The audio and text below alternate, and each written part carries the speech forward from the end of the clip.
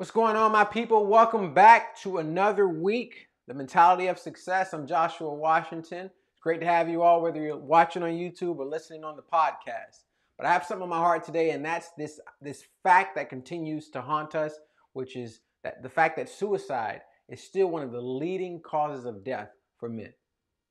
One of the leading causes of death for men, and we saw it recently uh, with with the young man Twitch, man. Who I mean, how can you not love this guy? Watching him dance and, and watching him do his thing on, on, on television or, on social media, only to, to open up your phone and see another life taken from us way too soon. And why this bothers me is the reason why that life was taken away too soon. And I, I want I want to share this with you because I want it to bother you as well. I want this to bother you so much that it sets a, a tone for the rest of this year and for every person that you have in your influential circle.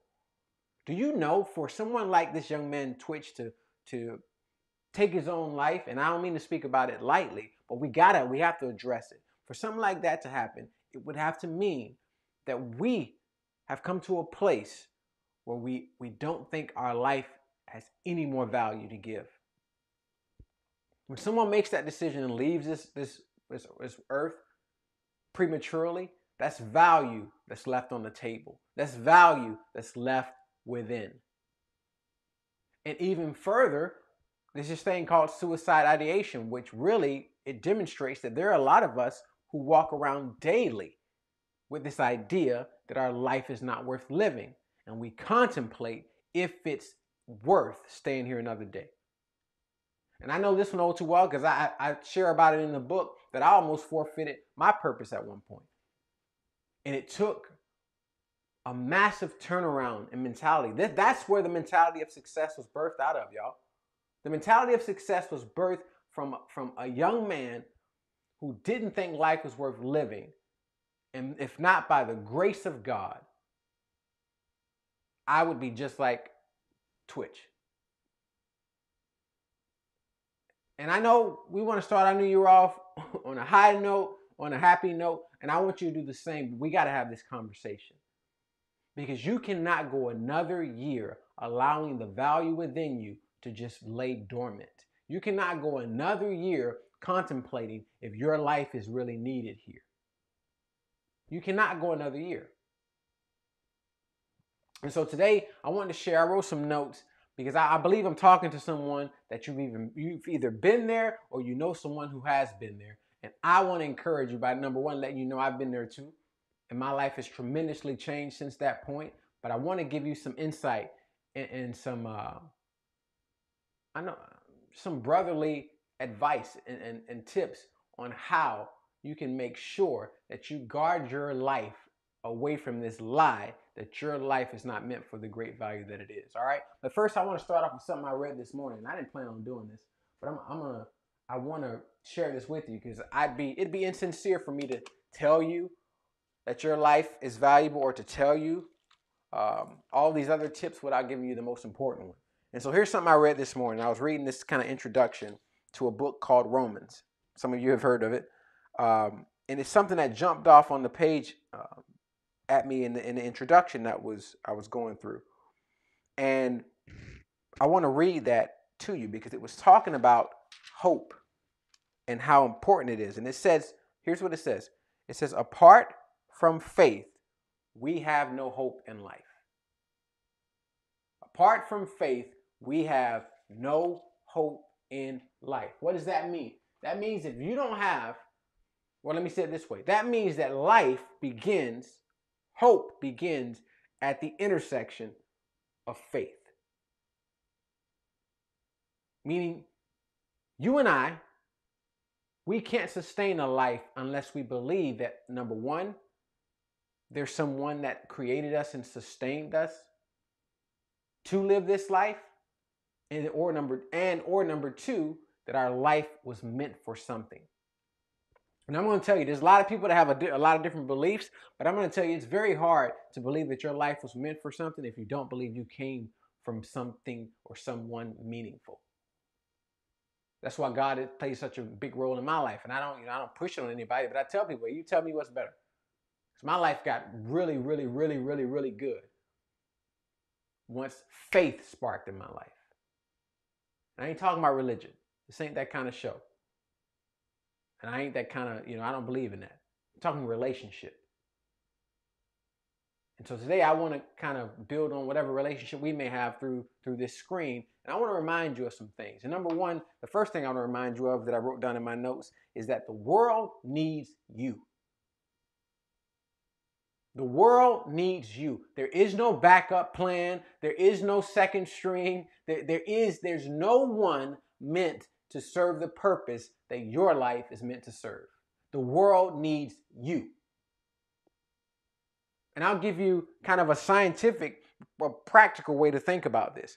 Think about think about something. If you if you ever wonder how valuable you are or how unique you are, just do this.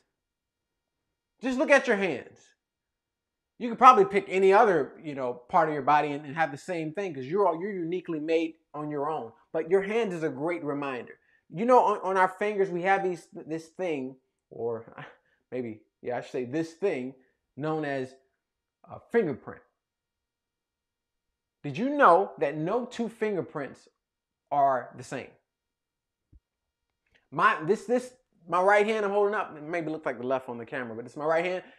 This fingerprint, you can't find this anywhere else. You can't buy this at any at any other store, any, anybody's lab.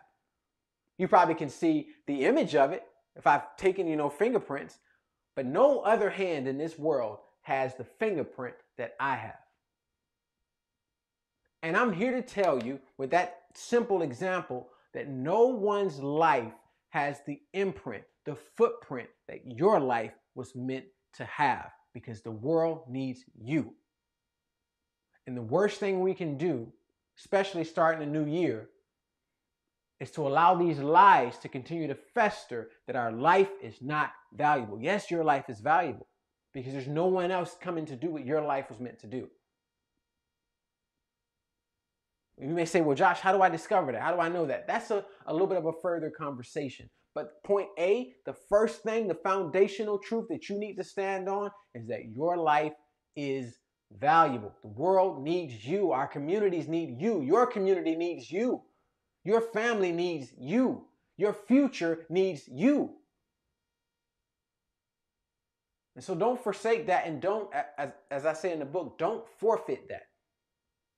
Don't forfeit the great future that's ahead of you. I know it may not look good right now, and maybe you're in a very dark season. I know what that's like, man. I know what it's like to wake up and every day seems more dreadful, more painful, more frustrating. You may be angry. Your circumstances may not look like you thought they would or you wish they would. I know what that's like. I've woken up and gone downstairs, and the one thing I did have, which is my car, was gone. But when you know that the world needs you and your value goes far beyond any circumstance or material or possession, then you will hold on and you see through that darkness until you get to the light. So that's the first thing I want you to know. The world needs you, man. The world needs you. The second thing I wrote down here that I really want I want to make sure I emphasize is that here's something that I had to learn going through that season where I was suffering from suicidal ideation. I had to learn that to exist to exist is it requires nothing. Like think about that. Existence really requires nothing. It's just really the waiting room it's like you it's you living your life in that waiting room before death. You know, just walking around, meaning meaningless, there's no real value, just existing. And there was a time in my life where I was I, I could safely say I was just existing. But there's a difference between existing and actually living. I want to say it's the way I wrote it. Life is very different from existence. Existence requires nothing, but life requires work.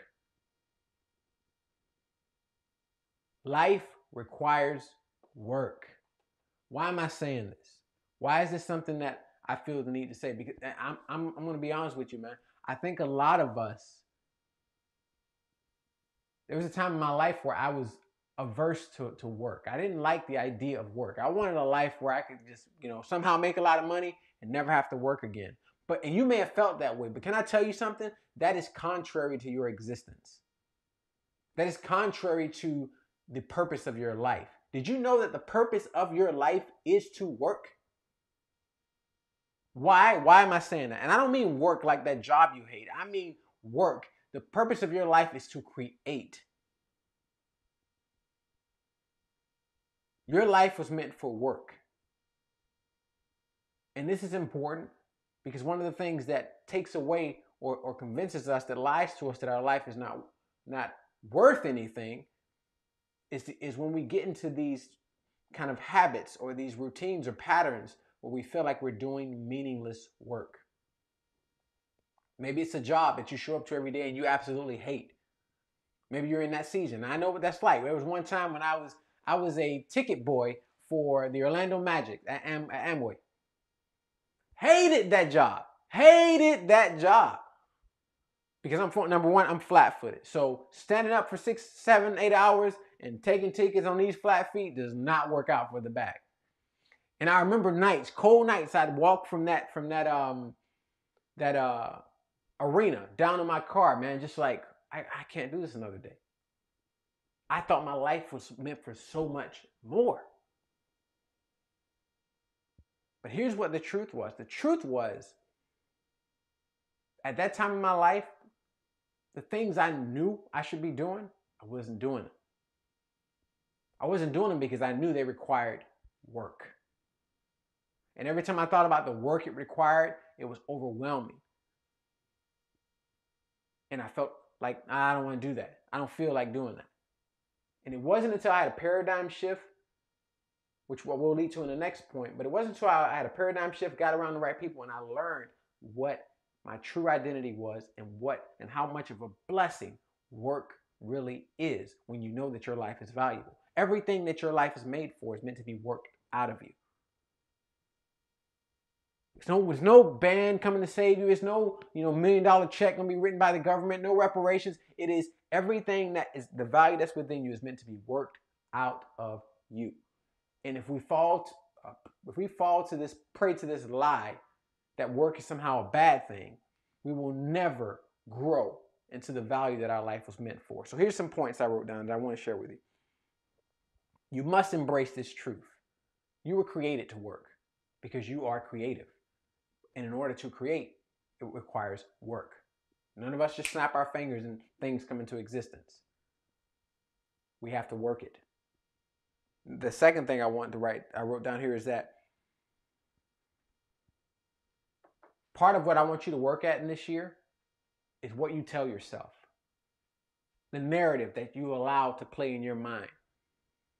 I am highly against telling myself anything that is bad for me. That's why, you know, as a, as a black man, I don't really walk around here telling myself that I'm oppressed or that I, uh, I'm I'm behind anyone else. I don't believe that. And I and I grew up in one. I grew up in the hood. I've experienced what I've not oppression, but I've experienced what discrimination looks like. I've experienced, you know, what dare I say, even racism could look like. Growing up in, I grew up in one of the poorest counties right? Let me not say, let me say it this way. I grew up in one of the poorest places, but the richest counties. How, how does that happen? I've gone into that, you know, that city and seen how, you know, people look at us. I get it. But I don't tell myself that story. I don't tell myself that I'm somehow some kind of victim. Why is that? Because whatever you tell yourself is what you will believe and what your life will become. So if you believe that you are a victim, then guess what? Your life will become that. If you believe that no matter how hard you work, you're never going to, to get ahead, then that's what your life will become. It'll become this uh, uh, uh, cyclical. This, just moves in cycles of, of going of putting a lot of effort in, but never going anywhere. And it's all relative to the story we tell ourselves. So I don't tell myself any of those stories. And I encourage you in this upcoming year, don't tell yourself any of those stories either. Only tell yourself stories that align with the purpose and value of your life. Only tell yourself stories that align with the purpose and value of your life. Don't tell yourself any stories that are outside of that, that are outside of that.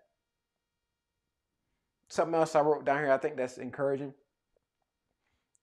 is oh, actually let me finish up this whole stories things. It's the damaging stories that that bother us, and some of them you're not telling yourself; other people may be telling you. Maybe there's someone else in your circle saying, "All right, you ain't no good," or "or you'll never do this." Well, hope you failed again. Get away from those those narratives. And that's the third point, actually. We walk into the third, I step right into that third point, which is don't walk alone. Do not walk alone. If you're if you're experiencing one of those heavy seasons, or you know someone that's experiencing a heavy season, do not allow them to walk alone. Come alongside them. And if they have people in their circle who are feeding them the wrong narratives, pull them out of that. And you combat that by, by speaking truth into their lives that aligns with the purpose and value of their lives. Listen, I am on a mission this year to put a dent in whatever whatever the statistics are meant to be for this year's suicide. Your boy is focused on putting a huge dent in that because I refuse to let another year go by where there are young men and young women who are looking at their value and not seeing it for the purpose and worth that it truly has. Not on, not on my watch. You will have the mentality of success. If you didn't have it last year, you will have it this year because your life is meant for greatness and I want you to know it, but more so, I want you to learn how to live it and walk it out. All right? And if you do in, in order to do that, I want you to stay keep stay locked in here. Actually, that's not what I want to do. Here, yeah, stay locked in here. Stay stay make sure you hit that notification button and, and make sure you share this with someone because you this is how you can help to not walk alone. Maybe there's no one in your circle right now, but you can make sure you don't walk alone by making sure that you stay plugged in here. All right? I love you all. This is going to be a great year, y'all. 2023 is going to be a great year. I'll tell you more about what I'm what I'm believing this will be this year at another time, but for now, I'm going to stop it there and I will see you all same place, same time. And reminding you that success is your destiny. All right? I'll see you on the next one.